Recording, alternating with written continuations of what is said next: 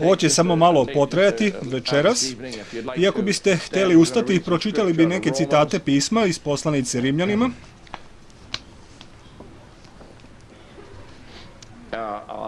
Počet ću da čitam u četvrtoj glavi i počinjem sa prvim stihom. Pa sve do osmog stiha, a onda stih 13. Šta ćemo dakle reći za Abrahama, oca svoga, da je po telu našao? Jer ako se Abraham delima opravda, ima hvalu, ali ne pred Bogom. Jer šta govori pismo? Verova Abraham Bogu i primi mu se u pravdu. A onome koji radi, ne broji se plata po milosti, nego po dugu. A onom koji ne radi, a veruje onoga koji pravda bezbožnika, prima se vera njegova u pravdu. Kao što i David govori da je blago čoveku, kome Bog prima pravdu bez dela zakona. Blago onima koji se oprostiše bez zakonja i kojima se gresi prekriše. Blago čoveku kome gospod ne prima greha. A onda od stiha 13. pa do 18. Jer obećanje Abrahamu ili semenu njegovom da bude naslednik svetu ne bi zakonom, nego pravdom vere. Jer ako su naslednici oni koji su od zakona, propade vera i pokvari se obećanje. Jer zakon gradi gnev, jer gde nema zakona, nema ni prestupa. Zato od vere da bude po milosti, da obećanje tvrdo ostane svem semenu. Ne samo koji je od zakona, nego i koji je od vere Abrahamove, koji je otac svima nama. Kao što stoji napisano, ostavih te oca mnogim narodima, pred Bogom kome verova, koji oživljuje mrtve i zove ono što nije kao ono što jeste. On verova na nadu kada se nije bilo ničemu nadati, da će on biti otac mnogim narodima, kao što mu beše rečeno, tako će biti seme tvoje. Pognimo glave svoje i molimo se. Dragi, ljubljeni, Gospode Isuse, to je u Tvoje ime, zato što nam je to ime darovano, ime koje je Tebi pripisao, glasnik, anđe od Boga. Zvaće se Isus, jer On će spasiti svoj narod od greha njihovih. I ovim i mi pružamo večeras dokaz da smo bili spašeni od naših greha. Zahvaljujemo ti za ovu pokazanu milost. I gospode, divna poučavanja, zapovesti i upute, one su čiste i istinite. I mi kažemo da su one da i amen za one koji veruju. O Bože, mi te večeras ljubimo, gospode, i molimo se da primiš naše zahvaljivanje. I sada mi ćemo pogledati u reč na izvesno vreme. Molim se da pomažeš govornika kao i slušaoce. Mi se predajemo tebi u ime Isusa Hrista. Amen. Možete sesti. Želim Božijom milošću da dotaknem nekoliko stvari večeras u svom naučavanju, dok čega sam želeo doći, još od početka kada sam govorio na temu rađanje nacije. Govorit ću na temu Abrahamova vera. Zato što su postojali neki aspekti njegovog života i Bog se bavio s njim na pomalo čudan način. Ja se nisam osjećao potpuno slobodan da o tome govorim, no ja sam naumio da to učinim večeras. Dakle, Abraham u stvari, oprostite mi, ovdje gore je malo toplo. Abraham je u stvari prikazao veru, rekao bih, dve vrste vere. Ili veru na dva veoma različita načina. Kao prvo, on je prikazao veru za primanje sina.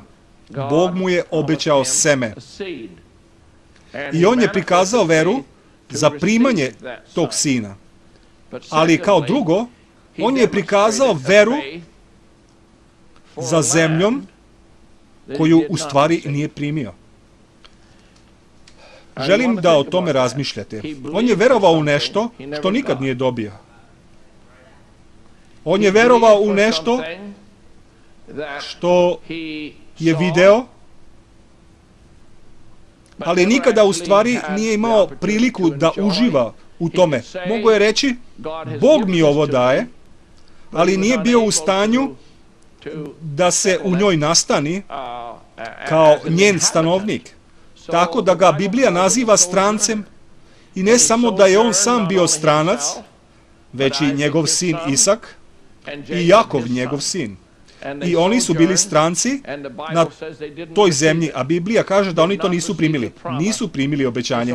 Ja o ovome razmišljam već nekoliko nedelja i želim biti veoma direktan prema vama, da mi znamo veoma malo o ovakvoj vrsti vere. Mi uvek želimo, znate već, da imamo veru koja se odnosi na uzmi to, uzmi to, primi to. Oh, nisam primio. Pretpostavljam da nisam imao veru. Abraham je imao kvalitet vere koja je išla dalje od njegovog smrtnog života. I zato smo o tome govorili u nedelju. On je čekao grad čiji je tvorac i graditelj Bog. Grad koji ima temelj. On je nastavio da ga čeka i čeka, zato što je sreo kralja tog grada, kaže brat Branham. Tako da ja želim da posejem seme u vaše umove dok mi prolazimo kroz ovo večeras kao lekciju. Biće to više izučavanje nego propovedanje. A ja želim da razmišljate o njemu kako prikazuje i izražava veru. A ja imam mnogo više od toga da kažem ovim dvema stvarima dok budemo išli dalje. Dakle, verovao je, je za sina kojeg je primio, a verovao je za zemlju koju nije primio. Upamtite samo ovo. U propovedi bogohulna imena, brat Braham je rekao, evo šta je pogrešno u Brahamovoj zajednici. Vidite li, postoje dve različite vrste vere, postoje dve različite vrste sile. Kao što sam o tome govorio nedavno, dve različite vrste znanja, dve različite vrste suzdržanja. Onda malo kasnije u jednom drugom paragrafu, on kaže, najveći udeo u našoj veri ima mentalna vera. Kada čujemo reč, to nas dovodi do mentalnog prepoznavanja Boga. Mi mentalno prepoznamo Boga tako što čujemo Božju reč. On kaže, ali ako to dolazi od ozgo, a on ovde govori o zapečaćivanju svetim duhom, on kaže, o brate, ako to ikad pogodi ovo, govori o tome što dolazi od ozgo, što pogađa tu mentalnu veru, pogodi ovo, tamo je onda jedna pobožna i duhovna vera. I zato on kaže da je mi čuvamo umu i da se to onda spušta u našu dušu. I on kaže, šta onda čini ta vera? Ta vera prepoznaje jedino reč. Dakle, postoji mentalna vera koja ne može ona priznaje reč i kao što on kaže, ona prepoznaje reč, no što se tiče njene stabilnosti u smislu u kome ja želim večeras govoriti, mentalna vera neće nikada, nikada izdržati sva iskušenja vremena. Jednostavno neće izdržati. I to je razlog što mnogi lutaju od crkve do crkve, imaju uspone i padove i kažu, oh, pa nisam dobio. Pa, u propovedi budi siguran u Boga, a to sam poneo takođe, brat Braham kaže, ima jedna stvar što morate biti. Morate biti sigurni u Boga. A to je bez obzira da li dobijate ili ne dobijate. Morate biti sigurni u Boga. Kaže, koliko puta Kaže i sam, ja sam sam prevrnuo svaki kamen. I kaže, možda ste ispunili svaki Boži zahtev, svaki zahtev, ovo nisu lagane izjave koje on ovde govori. I verovali ste, ispunili svaki zahtev i sve ste ispravili i ispovedili ste sve što je bilo potrebno da se ispovedi, a onda on kaže i onda, ako on i dalje ćuti, tada morate biti sigurni u Boga. Brat Branham to ne bi rekao da nije postojala mogućnost da se tako nešto desi. Da on jedno vreme čuti, a vi se molite i verujete i idete kroz život i to ne primate iako nemate razumevanje da postoji i drugačija vrsta vere koju je Abraham, vaš otac, prikazao, a mi smo govorili, bilo je potrebno, pomenuo sam to još na prvoj službi, ali ne verujem da ste to zapazili, jer ste svi se potpuno učutali. Za takvu vrstu vere potreban je taj nivo vere, ne samo da se izgradi nacija, već da se izgrade i stanovnici te svete nacije. Potrebna je takva vrsta vere, da možete imati veru da primite i da imate veru i da to ne primite, ali ste i dalje sigurni u Boga. Iako Abraham nije primio zemlju kao e, stvarno vlasništvo, imao je to po obećanju. I nikad se nije promenio. Živio, živeo je svoj život i umro kao starac i dalje je verovao da je ta zemlja njegova. I njegov sin proživeo je ceo svoj život i verovao istu stvar. To je obećanje koje je Bog dao ne meni, već mom ocu. I ja verujem da je ta zemlja naša. I onda i on umire i dolazi Jakov i sada je to obećanje koje je Bog dao Abrahamu, mom ocu. I ja verujem da je ta zemlja moja.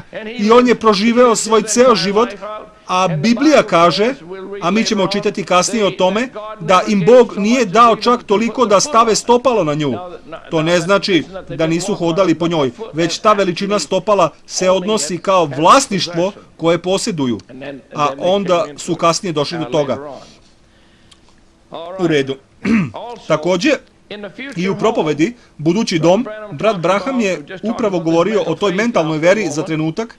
Kaže, dakle, ovdje je to u ovoj maloj ženi. Govori o ženi kraj studenca. Ona je bila jedna od njegovih atributa. A tamo je bio sveštenik koji je predstavljao svetlo. On je to naučio iz Biblije. On je naučio da je Bog bio Bog.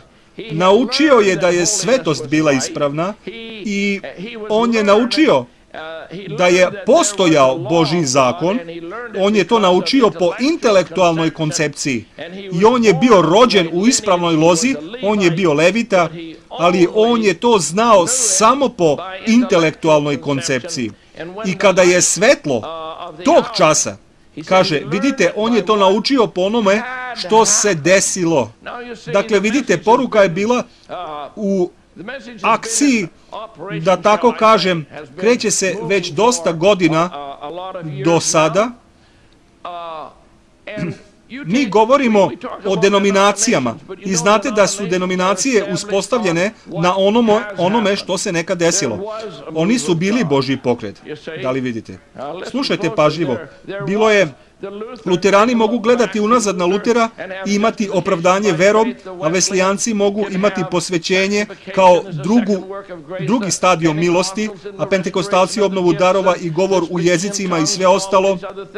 Ali kao, kako vreme ide dalje, onda brat Braham kaže da čak i od proroka oni prave tradiciju od njegovog života i mogu jednostavno da nastave dalje. A opasnost toga je da mi učimo iz toga. Mnogi ljudi su naučili iz onoga što je prorok rekao da je bilo ispravno, naučili su da je Malahija prorok bio ispunjen i u dubini svog srca oni to i veruju.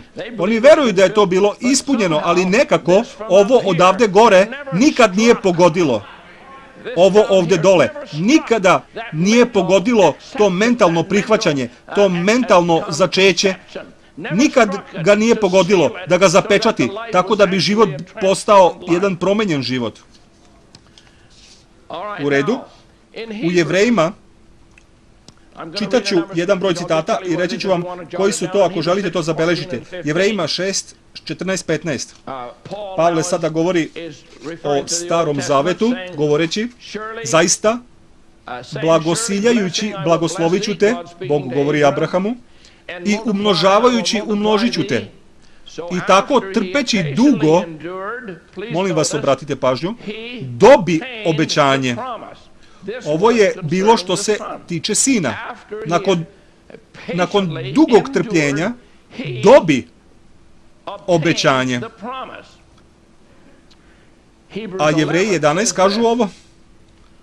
Verom posluša Abraham kad bi pozvan da izađe u zemlju koju htede da primi u nasledstvo i izađe i ne znajući kuda ide.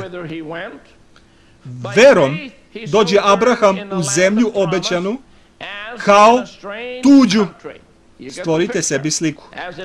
Kao tuđu i u kolibama življaše sa Isakom i Jakovom su naslednicima obećanja tog. Jer čekaše grad koji ima temelje, kome je zidar i tvorac Bog. Dakle, on je bio stranac sa Isakom i sa Jakovom, čekao grad, a citat koji smo malo pre čitali kaže, trpeći dugo, dobio obećanje zato što je primio sina. Ali sa drugim primjerom, on je u tranzitu, ali i dalje ima veru. I dalje ima veru, vidite. Čak ako i nema privilegiju da dođe do njenog potpunog, u stvari do njenog potpunog vlasništva, on i dalje ima veru. Brat Braham je izjavio na mnogo mesta i to rekao na, na raznorazne načine, da ta obećana zemlja tipizira naš duhovni život, naš život u svetom duhu. Nemojte da vam ovo zvuči previše negativno, no mislim da ako budete ovo razumeli, to će mnogim ljudima puno pomoći u ovoj zajednici. Ne postoji niti jedan pojedini ozbiljni vernik a da nije veoma zabrinut zbog sebe, zato što, a ja bih mogao dati mnogo raznih scenarija. Osjećamo da bismo trebali stići dalje nego što jesmo. Osjećamo da bismo trebali biti zreliji nego što jesmo. Osjećamo da bi trebali imati pobedu na time već odavno, A evo, ta užasna stvar je još uvek ovde. Nakon svih tih godina ja ne mogu. A onda su tu i drugi koji kažu ja jednostavno kroz to ne mogu da prođem, pokušavam i pokušavam kao da nekada ja upravo to se ne desi. I ruke se spuste i postaju veoma, veoma umorni. Pa šta je to? To je zemlja kroz koju, koju vi putujete kao stranac. Vi znate da vam pripada i znate da vam je obećana i znate da taj pobednički, apsolutno pobednički život, znate da sama priroda Isusa Hrista, koliko nas želimo da imamo svu prirodu Isusa Hrista, a ipak bi isto toliko ruku, a možda i više, se podiglo i reklo, ja sam izneverio da to izrazim onako kako sam to želeo, vidite, ja sam izneverio da to izrazim onako kako sam to želeo i to je mesto gde smo iskušani, da li ćemo nastaviti da verujemo da to jeste naše. I to je mesto gde je Abraham, vaš otac, koji je rodio naciju, koje ste vi građanin, on je odbio, čak ako je nije posjedovao svu zemlju, on je nastavio da hoda kroz nju govoreći, to je moje, to je moje, briga me što su Amoriti ovde, briga me što su Amalaičani ovde, briga me ako je Vuseji imaju nešto bolje od mene, ovo je zemlja, u stvari, moja je. Bog mi je to dao. I ako izneverimo da tu stvar držimo u srcu, nikada nećemo posjedovati ono što bismo trebali posjedovati. Ali vidite, Abraham je čekao grad, u stvari on je gledao. Njegova vera je išla dalje od smrtnog života. Nije to bilo da je on rekao, pa možda ću jednog dana imati, tako da ću za sada to zaboraviti. On nije imao uopšte takav um. On je nastavio hodati, nastavio je sa verom, nastavio je da kampuje na njoj, nastavio je biti stranac u njoj, verujući u ono što je Bog njemu rekao da je to istina. I ako je Bog nama izgovorio potvrđenu poruku i rekao da je dokaz svetoga duha život Isusa Hrista u meni, u vama. I ja mogu iskreno reći da toliko mnogo puta ne izgleda da je to taj život. Drugim rečima, ja ne posjedujem sve granice te zemlje. Pa šta ćemo činiti, kažete? Pa izgleda da nešto nije u redu sa obećanjem. To jednostavno ne funkcioniše. To je tačno ono što bi đavo voleo da vi verujete, da to ne deluje. Ja kažem da je to na Bogu, ali što se Božije reči i što se obećanja tiče, to nama pripada. Haleluja. Haleluja. I samo neka đavo to čuje u vašem ispovedanju vere. Amen. U redu. U propovedi bezuslovni zavet. Biblija kaže Abraham umesto da oslabi kaže, ako ste otišli i molilo se za vas jedno veče, mislim da se ovdje govori o primanju isceljenja u ovom slučaju, a sljedeće jutro kažete, nije mi ništa bolje, pa izgleda da nema ničega u tome, o kako ste vi jadan Abrahamov sin. Vidite, zato što nije primio. Vidite li šta kaže? I kaže, niste baš neki sin ili kćer Abrahama. Abraham je primio obećanje i verovao to i dok se to odugovlačilo, on je postojao sve jači i jači. Dok se odugovlačilo. Postajao je sve jači i jači i to je sve vreme postojalo sve veće čudo. I nakon 25 godina, sad govori o sinu, obećanju koje je primio, i nakon 25 godina beba još uvek nije došla, a ipak on je dalje verovao. Amen. Vidite, no ja znam, to je vera na koju se mi toliko usmeravamo, o kojoj toliko slušamo, a ja vam želim predstaviti jedan drugi aspekt Abrahamove vere, što meni u istinu Abrahama čini velikim, velikim patrijarhom. Jedan veliki, veliki Božiji čovek. Nije ni čudo da ga je Bog video kao prijatelja, nije ni čudo što je Bog na njega gledao i načinio ga ocem mnogih naroda. On je verovao. Čak i kada zauzvrat nije dobio, rekao je, ono što je Bog rekao, je i dalje istina. To je pravi Boži sin. U propovedi sedam srodnih imena Jehove, Abraham je primio obećanje od Boga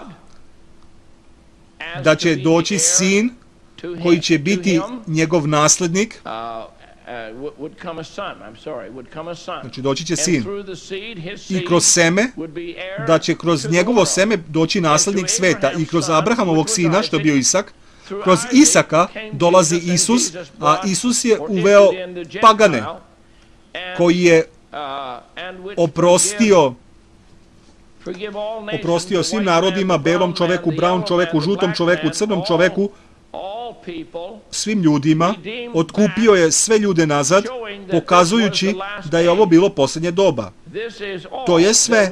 Nakon ovoga neće više biti doba, ovo će biti posljednje doba u kome će se Bog baviti sa ljudima kao sa smrtnicima. A sada, do ovog sam želeo doći, njegova vera mu se računala kao pravednost. A sada ćemo čitati ono što smo ranije čitali u četvrtoj glavi. Šta ćemo dakle reći za Abrahama, oca svoga, da je po telu našao? Jer ako se Abraham delima obrav, opravda, ima hvalu, ali ne pred Bogom. Jer šta govori pismo? Verova Abraham Bogu i primi mu se u pravdu. Dakle, vama je poznat citat pisma u Jakovu i sad ću čitati Jakova 2, 21, 22. Abraham, otac naš, ne opravdeli se delima. Brat Braham se bavi sa time i vi ste, to, vi ste to čuli sigurno puno puta, ovo je veoma temeljna stvar. Pavle kaže da je on bio opravdan verom. A potom Jakov kaže, Abraham, otac naš, ne opravdali se delima. A sada želim da nešto primetite. Ja to nisam primetio dok nisam ovo proučavao. Abraham, otac naš, ne opravda se delima, li se delima, ovdje ne trebamo da se zaustavimo, jer ovo nije vremenski period, kaže se, kada prinese Isaka, sina svog, na oltar. To su bila dela. Dakle, razmislimo o ovome samo za trenutak. Dela koja je on učinio, nisu bila dela zakona. Jakov nije o tome govorio ovde. Delo koje je učinio je bilo kada je prineo Isaka, svog sina, na oltar. I bio je opravdan tim delom. Dakle, šta je on uopšte činio kad je prinosio svog sina? Brat Braham kaže na jednom mestu da je on tipizirao samog Boga. on je u stvari izražavao samo Božije srce. I dok je to izražavao drugim rečima, on je došao do mesta, došao je do mesta poslušnosti i vere, gde je prinosio svog vlastitog sina na oltar, gde će Bog primeti svog sina na oltar radi greha. I tako kada mi, a ja to sad želim primeniti na nas kao Abrahamovu decu, kada mi dođemo na mesto poslušnosti, kada mi izražavamo Isusa Hrista sa našim delovanjem i akcijama, ta dela, reći ću vam, ta dela, ta dela, To nije držanje zakona ili gomile tradicija ili zapovesti, ali kada smo pokrenuti od Svetog Duha i sam Božiji Duh deluje kroz nas i izražava sam život Isusa Hrista, ta dela, vi ste opravdani tim delima. Ona svedoče o vama, kao što ja to kažem. To nije da vas to očišćava od vaših greha, to s tim nema nikakve veze. Spasenje je besplatni Božji dar, no kada Bog vidi, Biblija govori o dobrim delima. Govori o dobrim delima, da li verujete u njih? Da li verujete u njih? Apsolutno. Ako je Hrist u nama, kako onda ne bi radili dobra dela? Apsolutno. I brat Braham se sa ovim pitanjem bavi na ovaj način, kaže, Pavle je govorio o Abrahamu, o onome što Bog vidi u njemu, a Jakov govori o Abrahamu, o onome šta ljudi vide u njemu. Dakle, ljudi su videli Abrahamova dela, a Bog je video njegovu veru. Vidite. Što se Boga ticalo, Abraham je bio opravdan bez dela, bez zakona, jer setite se, tada još nije bilo zakona. Ovo je mnogo godina pre Mojsija, mnogo godina pre planine Sinaj i mnogo godina pre zakona. I tako Bog je video Abrahama, jer Abraham je jednostavno verovao Bogu i njegovo verovanje mu je bilo uračunato u pravdu zbog njegove vere.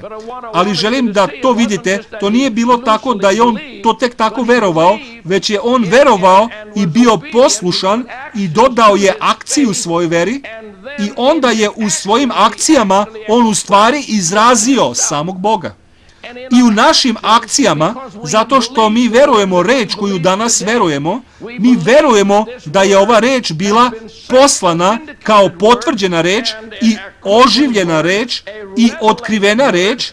I kada to dolazi kao lično otkrivenje individui, vi ćete tada ispoljiti sama dela Isusa Hrista na jedan ili drugi način. I ta dela svedoče. Ljudi vide ta dela. I ona svedoče o nama da smo mi vernici. Amen. I tako Pavle kaže, jer ako se Abraham delima opravda, ima hvalu, ali ne pred Bogom, da je opravdan delima. A potom Jakov kaže, Abraham, otac naš, ne opravdali se delima kad prinese Isaka, sina svog, na oltar. Stih 22. Vidiš li da vera pomaže delima njegovim i kroz dela usavrši se vera. Jakov nastavlja dalje.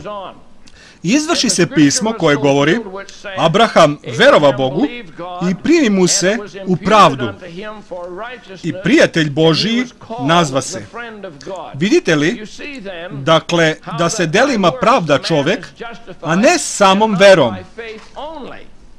A tako i rava kurva ne opravdali se delima kada primi uhode i izvede ih drugim putem. Morate zapaziti, ne kaže se da se rava opravdala samo delima. I ne kaže se da je Abraham bio opravdan samo delima, već se kaže bio je opravdan delima kada je prineo sina. I kaže se, Rava je bila opravdana delima kada je primila uhode, kada je primila reč i kada ih je poslala, kada je bila poslušna, zato što je ona u stvari ispunjavala, a vaša dela svedoče o vama, ko ste. Naša dela u stvari svedoče o tome šta se nalazi u nama, kada smo poslušni reči. Amen. Dakle, dela o kojima se govori je bilo kada je Abraham prineo Isaka, prineo svog sina na oltar, kada su njegove akcije potretisale život i žrtvu Isusa Hrista. To su bila dela koja je on učinio. Abraham govori o tome u propovedi dela su izražena vera. On kaže, Abraham je verovao Bogu i meni se osviđa. Abraham je verovao Bogu i to je ono što je Bog video u njemu. On je to verovao. Ali kada je krenuo u akciju, kao da je to već bilo učinjeno, to je ono što su ljudi, kaže, to je ono što su ljudi vidjeli u njemu. Dakle, ono što je Bog video u njemu je bilo kada je on u stvari to verovao. A ono što su ljudi vidjeli u njemu su bile, bile njegove akcije, koje su bile rezultat njegove vere u ono što je Bog rekao. Dakle, Bog nešto kaže i on je to verovao. I zato što je on to verovao, on je delovao na određeni način. A kada je krenuo u dela, to su ljudi vidjeli u njemu. I tako ljudi su ga opravdali delima, ali Bog ga je opravdo verom. Isto je tako i sa nama. Bog nam govori i zato smo mi to rekli, verujem da je to bilo posljednje srede uveče, je kada Bog govori ono što on u istinu očekuje delo. Odmah da se deluje. Mi to možemo objasniti veoma jednostavno. Bog bi mogao da govori nekom pojedincu, znate već, na određenom nivou posvećenja ili nešto što bi mogli učiniti, možda žrtvu koju treba da učine ili njihov život, možete vidjeti da je na njih bio izvršen uticaj, a možda će i drugi iz zajednice primiti uticaj toga i reći će, nešto se desilo sa tim bratom, tom sestrom, nešto se desilo. Bog se ozbiljno pokrenuo nad njima. A mi vidimo njihove akcije kao rezultat toga i mi to vidimo i na nas je izvršen uticaj kroz to, no Bog je video njihovu veru još kad su čuli Božju reč, a onda su to ispodjeli delom. Nadam se da to možemo e, veoma jasno pokazati. Bog govori, vi delujete, a Bog vidi vašu veru. Kaže, oni su to verovali. I to je ta jednostavna stvar na kojoj Bog smatra da se temelji vaša pravednost. Zato što ste, što ste to verovali. Ne zbog toga što ste sve učinili, već zato što ste to verovali. A brat Braham kaže, ako verujete, onda ćete to učiniti. Dakle, kada to činite, to je ono što drugi vide. Dobra lekcija, zar ne? Bog govori, mi verujemo. A kada verujete, Bog kaže, ti si pravedan. Ti si pravedan. Aleluja. Smatram te pravednim. Nisi učinio ništa, već ti si pravedan. I onda, zato što to verujete, sada idite da to činite. I vaš život se menja. I stvari se menjaju u vašem životu. Vaš zapis se menja. Vaši prioriteti se menjaju. I kada se sve to desi, onda ljudi kažu, wow, nešto se desilo. Nešto se desilo s tom osobom. I to bi tako trebalo da deluje. Amen. Ja to volim.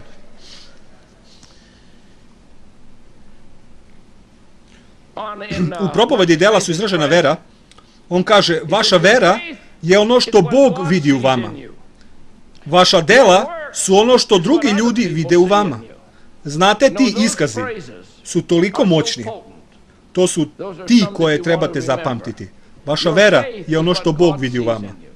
Ali vaša dela su ono što ljudi vide u vama. I kaže, u tome je razlika između Jakova i Pavla. Znate, čitao sam te citate pisma mnogo godina, ali nikad mi niko to nije na taj način objasnio. I on nastavlja dalje. Dakle, nema kontradikcije u jednom u odnosu na drugog. I kaže, tako je i sa verom koja ne proizvodi dela. Svako ima pravo da sumnja vaše svedočanstvo, jer vera koja ne proizvodi dela, svako može da sumnja u takvo svedočanstvo. I sad kaže, da li čujete, pre nego što počnemo s molitvenom linijom, on se priprema za molitveni red, ako vaša vera ne proizvedi, proizvodi dela u sebi, kaže, ne možete nikog navesti da verujete da ste isciljeni. Kažete, pa ne znam, da, sigurno, pa imam svu veru na svetu i kaže, ne, nemate. Jer ako imate veru, tada su dela u braku sa verom. želim da čujete ovo. Dela su u braku sa verom, oni su muž i žena, zato što jedno ukazuje na drugo. Ovo mi se sviđa. Jedno ukazuje na drugo. Ali sada dolazimo do ovoga, recimo do jevreja, do Abrahamove dece po telu. Danas. Čuli ste rabina Richmonda, a i Gershona. Mislim da su čak obojica rekla da imaju 613 zakona starog zaveta. 613. Ne samo 10. Ne 10. To su razradili do 613. Možda rabin Richmond sluša ovo. Ko zna? Boga blagoslovio.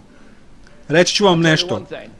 Nije mi važno ko je u pitanju, ali niste opravdeni ni najmanje u držanju 613 zakona. Ni najmanje. To vam neće doneti niti zrno pravednosti. Zato što pravednost ne dolazi od zakona i od dela. A to je delo, zato što je sve što dolazi iz prošlosti i razrađuje se i sve tako dalje kao to. I to je razlog što čak i crkva, vernici koji su danas u poruci, hej, veoma su osetljivi. Veoma, veoma osetljivi na tu stvar. Znate već, posebno mladi ljudi, zato vam to stalno govorim, vi to morate znati za sebe. Ne može biti, pa, To je ono što kaže moj tata, to je ono što kaže moja majka, to je ono što smo mi naučili. To mora ići dublje od učenja. Morate reći, o Bože, ja mentalno to prepoznajem. Prepoznajem da je to istina i verujem da si poslao proroka glasnika i verujem da su te stvari ovde, a sada dođi i uzmi ono što je u mom mentalnom prepoznavanju i neka se to upije dole u moju dušu i ja ću čekati, ja to verujem, no ja ću čekati na tebe dok to ne postane suštinski deo mog života. I kada se to jednom desi, nema više gore, dole, unutra, napolje, okolo, naokolo i sve ostalo, nema više toga. To je onda sve otišlo. Vi ćete jednostavno ići kao Abraham i, i kada dođe đavo i kaže ti liceberu, ti nemaš ono što tvrdiš da imaš. A vi ćete reći, to je ipak moje. To je ipak moje. Bez obzira da li ja to imam ili ja to nemam, ako je Bog rekao da ja to imam, onda ću ja to tako reći, ja ću reći ono što On kaže. Amen. Aleluja. To je Božje reč. Obećanje je dato kroz dela zakona. obećanje nije dato kroz dela zakona. Kao što je i David govori da je blago čoveku kome Bog prima pravdu bez dela zakona, blago onima koji, koji se oprostiše bez zakonja i kojima se gresi prikriše. Blago čoveku kome gospod ne prima greha i u čijem duhu nema lukavstva. Primiti u ovom slučaju je smatrati, pripisati, uračunati. Znate, pošto nisam baš dobar u matematici, ja skoro uvek imam digitron u svom džepu i ja odmah računam. Zovem ga svojim mozgom. Čekajte da samo izvadim svoj mozak. I ja ću to učiniti. Kada vi grešite, padnete, zgrešite, šta god, Bog ne vadi odmah svoj digitron. I to vam dodaje. Ono na šta On u istinu gleda je da li vi verujete u njegovo obećanje. Evo šta ja u stvari verujem čovek ili žena bi mogli učiniti nešto pogrešno. I ovde. I brat Braham kaže, čim je ta greška ispoveđena, dolazi pod belilo. Ali reći ću vam nešto, što se mene tiče, ono na šta Bog gleda, je On gleda na srce i dušu pojedinca, da vidi da li On ima tu esencionalnu veru i da veruje u njegovo obećanje. Kaže, to je moj sin, on veruje u moje obećanje.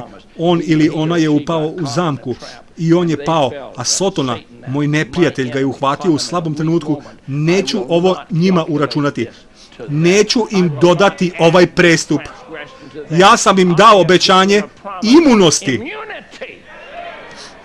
neću im ovo uračunati. U stvari, ja ću im uračunati svoju pravednost, zato što su oni verovali moju reč. I oni će izaći iz toga. Biće oslobođeni. Aleluja. Biće obnovljeni. Zato što imaju tu esencionalnu veru u sebi. Aleluja. Neki mogu misliti da je to ekstremna milost, no ja mislim da je to ekstremno oslobođenje. Dakle, neću još dugo, ali imam još nekoliko stvari do kojih moram stići. Kaže se, što se Abrahama tiče, kaže se da je bio opravdan delima kada je prineo Isaka svog sina. Dakle, hoću da zapazite zašto ja verujem da je bio spašen na taj način. Ja sam zaista duboko se molio i razmišljao o ovome. I Abraham reče momcima, ostanite vi ovde sa magarcem, a ja i dete, ja i dete, to je Isak, idemo onamo, pa kada se pomolimo Bogu, vratit ćemo se k vama. Vratit ćemo se k vama. On je već pokazivao svoju veru. Bog mu je već rekao da prinese sina. Tako da on nije znao, ovo je Abrahamova vera. A vi govorite o slepoj veri. On je išao gore, a bodež mu je u rukama ili za pojasom, ima drva i vatru za žrtvu, da prinese svog sina. I on u potpunosti namerava to učiniti zato što mu je Bog rekao da to učini. A pismo kaže da on nije znao da li će se to desiti ili će ga Bog uskrsnuti nazad. Ja ne znam kako će se to desiti. Ni vi ne znate kako će se to desiti. Ni ja ne znam kako ćemo imati takvu vrstu života i pobede. Možda ćete se morati vratiti nazad iz mrtvih. No kako god da će to biti, to je ono što će se desiti. Mogu li ja to ovako reći? Abrahamova vera je išla dalje od smrtnog života. A pismo kaže i uzevši Abraham drva za žrtvu, naprti Isaku sinu svom, a sam uze u svoje ruke oganj i nož, pa otidoše obojica zajedno. Dakle, Pavle kaže u jevrejima, govoreći o Abrahamovoj veri, kaže, verom prinese Abraham Isaka, kad bi kušan, i jedinorodnog prinosaše, pošto beše primio obećanje, u kome beše kazano, u Isaku nazvaće ti se seme. Evo čoveka i on uzima i molim vas, nemojte ovo uzeti kao jednu običnu poruku u sredu uveče. Stavite sebe na Abrahamovo mesto. On uzima sina, on ima vatru, ima drva, ima nož i on će učiniti ono što mu je Bog rekao da učini, a ipak u njegovom umu Bog mu je rekao Isak je tvoje seme. A to je sin koji je došao po obećanju. I ovo je sin kroz kojeg će naslediti zemlju. I on sve to zna u svom srcu, ova zemlja je moja, moje seme treba da nasledi zemlju, a ovdje ja uzimam jedinu mogućnost da se to ikad desi i ja ću ga odneti gore i prineti Bogu. Imam svoj nož, imam vatru, imam drva, imam sve i vi mislite da će ga to nekako odvojiti od njegove vere i obećanja? On nije znao kako će to obećanje biti ispunjeno, ali je znao da će to biti ili kroz smrt ili uskrsnuće, ili će to biti neka nova tvorevina. Bog, on je bio siguran u Boga. Bog koji mu je govorio će mu dozvoliti da zauzme tu zemlju. Ja kažem da Bog koji je podigao Isusa iz mrtvih će proizvesti ljude koji će živeti taj uskrsli život. Apsolutno. Apsolutno. Bez obzira šta ste iskusili, bez obzira na vaše greške, bez obzira na vaše sumnje, Bog je to izgovorio. I Bog će to ispuniti. Sve što Bog traži je srce koje veruje. Vi to verujte i Bog će to ispuniti. Aleluja, to je jedini zahtjev. I verujući u to, vi ste pravedni. Sa time je pravednost povezana. Bog vidi vašu veru i kada imate veru i to verujete, Bog vas smatra pravednim i onda kada delujete po tome, ljudi to vide i prepoznaju da ste vi čuli od Boga. I tako ovdje kaže, verom prinese Abraham Isaka, kad bi kušan i jedinorodnog prinosaše, pošto beše primio obećanje, u kome beše kazano, u Isaku nazvaće ti se seme, a sada molim vas obratite pažnju na 19. stih Jevrejima 11. Pavle, kada je, Bog kada je otkrio Pavlu, on je znao da on može govoriti u Abrahovo ime, jer ovo, evo što je rekao. Pomislivši, to je ono što je Abraham radio, pomislio je ili smatrao da je Bog kadar i iz mrtvih vaskrsnuti, zato ga i uze za priliku ili sliku. On je u stvari primio Isaka kao sliku, figurativno, iz mrtvih. Bog, Bog radi njegove vere i čvrstine, zato što je bio voljan da ide do kraja, zato što je bio voljan da podigne svoju ruku sa nožem koji je bio podignut nad njegovim sinom, on ga je podigao da bi ga zabio u njegove grudi i da ga prinese kao žrtvu. Bog je rekao, to je dovoljno, ja smatram kroz tvoju veru, ja ti ga dajem kroz uskrsnuće. Smatram ga uskrslim, zato što si ti bio voljan da ga prineseš. To je već učinjeno. Drugim rečima, ti si voljan da učiniš ono što sam ja voljan da učinim. Ja ću dati svog jedinorodnog sina i podignuću ga iz mrtvih. Tako da je on u stvari dao Abrahamu, on mu je, on mu je u stvari pripisao uskrsnuće. I to je ono što je rekao apostol Pavle, kroz koju ga je i primio kao jednog iz mrtvih. Bog je rekao, to je dovoljno. Vidite, njegova vera je išla dalje od drva, vatre i noža. Ona je išla dalje. Drugim rečima, ona je išla dalje od onoga što je on trebao da učini. Dobro, da sada prenesem na vaš slučaj. Možda ste vi u, stanju da idete samo do jedne granice. Vi jednostavno, fizički ili emotivno, ili šta god da je to upravo, ne možete ići više. Kao da ne možete ići dalje. Ali vi verujete od sveg srca. Vi ste nepokolebljivi kao Abraham. A Bog to smatra završenim poslom. Vi biste trebali da razmišljate o tome. Trebate raz, razmišljati o tome.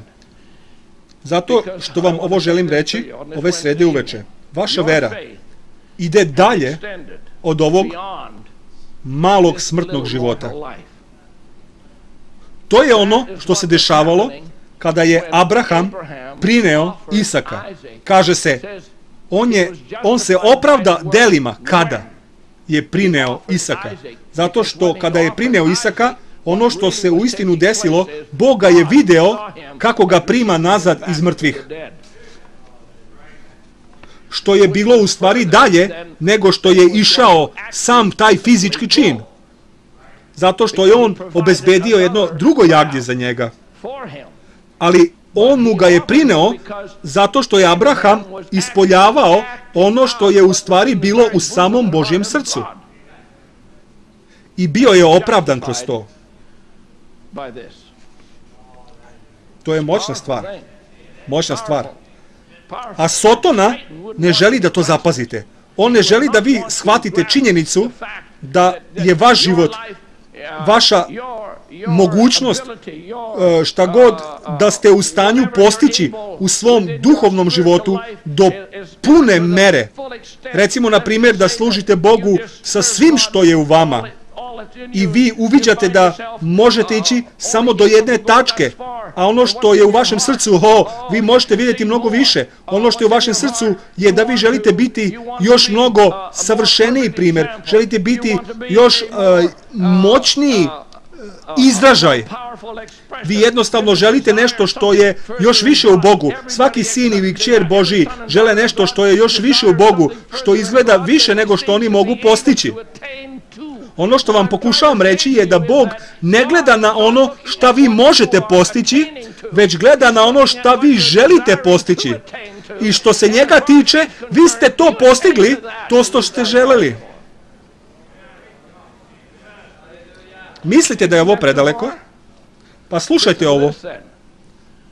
Bog smatra svoju decu savršenom. A, dok, a dokle vi možete stići je daleko od savršenstva. Dakle, šta vas vodi od vaših ljudskih ograničenja do savršenstva? Pa to je vaša vera. Vi ste to verovali. Bog kaže da ste uhvaćeni u klopku tog ljudskog tela koje je slabo, nedovoljno, nemoćno, imate mnogo ograničenja i sve ostalo. Vi možete ići samo do jedne mere, ali ja ću vam uračunati da ste stigli do kraja. Aleluja. Aleluja.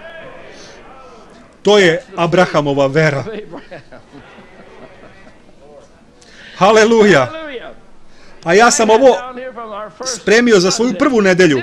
Ovo je esencionalni sastojak. Ovo nije jedna opcija. Mislim da bi trebao ovo imati. Ovo je esencionalni sastojak života vernika. Aleluja. Reći ću vam nešto, amen. Reći ću vam nešto. Želim vas nešto pitati. Šta će đavo da radi? Šta će uopšte đavo da radi sa osobom koja je sada toliko usidrena u tom, u tom otkrivenju, u tom razumevanju? Ja verujem od sveg srca i svom dušom i ići ću do kraja, ići ću dokle god bude mogao ići, no ljudski gledano, mi nismo u stanju da to postignemo, makar što se tiče naših žudnji i želja i vizije, i mi možemo vidjeti toliko mnogo više, imamo toliko veće otkrivenje i o, čini mi se da mogu skoro stići do tamo. A Bog samo kaže, u redu je, deco, sve u redu, vi. Ono što ti nisi bio u stanju da učiniš, ja ti to uračunavam. Haleluja. U stvari, ja sam uzeo tvoje slabosti, ja sam ih uzeo na sebe, ja sam uzeo vaše grehe na sebe. Ja sam pladio tu žrtvu. Aleluja. Brat Braham je rekao da se Abraham vratio u greh. Vi ne nalazite Boga da sledi njegove korake i da kaže ti ološu, ti slaba kariko, ti povratiče u greh, zašto si otišao, e, znao si bolje, znao si da ne treba da ideš, vi ga ne čujete da tako govori. U stvari, usred svog povratka, povratka u greh, on je bio heroj. Apsolutno. Usred njegovog povratka u greh, Bog je govorio kralju i rekao, neka se ovaj povratnik u greh moli za tebe, jer on je moj prorok. I ako se on ne bude molio za tebe, ti vrediš koliko mrtav čovek. Aleluja. Najslabiji hrišćanin. Aleluja. Najslabiji hrišćanin. Zato što Bog vidi veru koja je u vašem srcu. I On vam to računa, On vam to ubraja. Aleluja. Šta vam On ubraja? On vam ubraja svu meru obećanja koju ste vi verovali.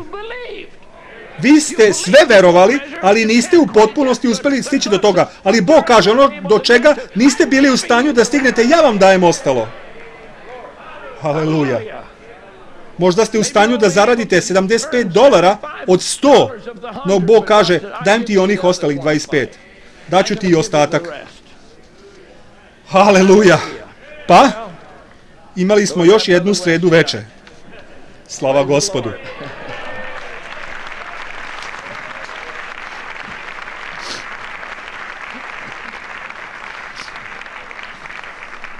Uhvatite se za ovo. Uhvatite se za ovo. Nemojte ovo zaboraviti. Možda ćete morati to još jednom čuti, no samo zgrabite ovo. Amen. Vera je naša pobeda. Koja je pobedila svet. Amen. Oče, molim se da blagosloviš ljude i posebno ih blagoslovi što su bili toliko verni iz veče u veče i službu u službu. O Bože, to samo tražim za ove drage duše koji su mi toliko mile i imam jednu takvu ljubav za njih. I to je tako malo i nedovoljno u odnosu na to kako ti voliš njih. I mi želimo da ti kažemo večeras da mi tebe volimo. Mi volimo tebe zato što si ti učinio za nas ono što niko nikad nije mogu učiniti. Molimo se da primiš naše zahvaljivanje u ime našeg gospoda Isusa Hrista. Amen. Haleluja. Glas mi je malo oslabio, pa ću zamoliti brata Toma da preuzme pesmu i da završi sa molitvom. Amen. Hajde da pevamo pesmu ili da proslavljamo kako god da osjetiš vojstvo. Aleluja. Amen, dobro je. Amen. Da vam kažem, kada, skupi, kada se skupimo oko nečega što je dobro, želimo zgrabiti to i uzeti tu lubenicu i mm, baš je bilo tako predivno. Zašto ne bi ustali? Da li znate šta znači nemati ni jedan osjećaj krivice? Možemo se radovati večeras zato što je to vama već pripisano i mi se možemo radovati u Božjoj reči koju smo čuli večeras. Amen. Ovo je kraj ove propovedi.